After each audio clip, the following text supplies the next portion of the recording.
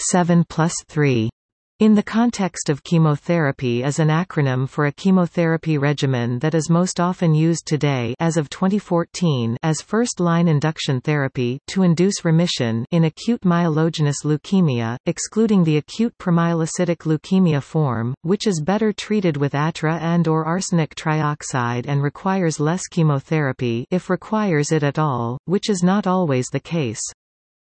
The name 7 plus 3 comes from the duration of chemotherapy course, which consists of seven days of standard dose cytarabine, and three days of an anthracycline antibiotic or an anthracenedione, most often daunorubicin can be substituted for doxorubicin or idarubicin or mitoxantrone.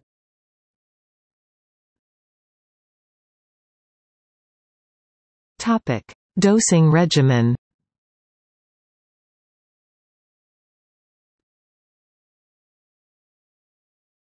Topic: Standard dose cytarabine plus daunorubicin (DA or DAC) chemotherapy.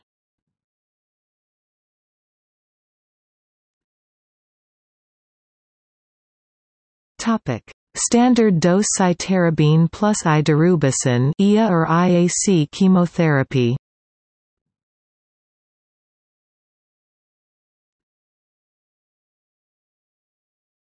Topic: Standard dose cytarabine plus mitoxantrone MA or MAC chemotherapy.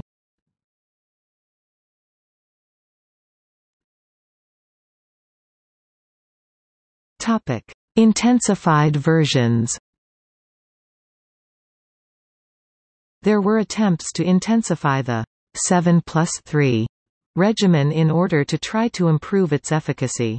Attempts were made to prolong the course cytarabine for 10 days instead of 7, or daunorubicin, idarubicin for 4 to 5 days instead of 3. On the other hand, there were attempts to minimize the toxicity of the regimen by reducing the dose or the duration of the course. But this proved to compromise the efficacy of the regimen.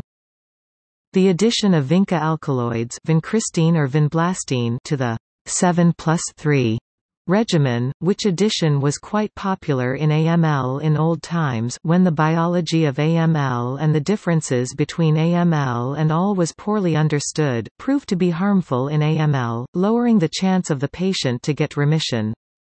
This is because vinca alkaloids are rapidly deactivated in myeloid cells by their enzyme myeloperoxidase so the vinca alkaloids do much more damage to the lymphoid cell lines including the T-cell lines responsible for antileukemic immunity than to the myeloid cell lines. Moreover, vinca alkaloids in the context of AML cause AML cells to undergo a cell cycle arrest in the phase that renders those cells less sensitive to cytarabine and anthracyclines. Addition of glucocorticoids like prednisolone or methotrexate or alkylating drugs like cyclophosphamide or melphalan to the 7 plus 3 regimen is also of no benefit in AML. The addition of etoposide to the standard 7 plus 3 regimen is sometimes of benefit in poor risk patients many of which are primary refractory to standard 7 plus 3 induction regimens. It gave rise to the so-called ADE or DAE equals DA plus etoposide induction regimen in AML.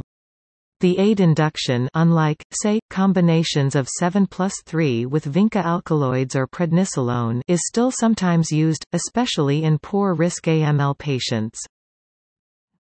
The addition of 6-thioguanine gave rise to the DAT regimen, and the addition of 6-mercaptopurine gave rise to the DAM regimen.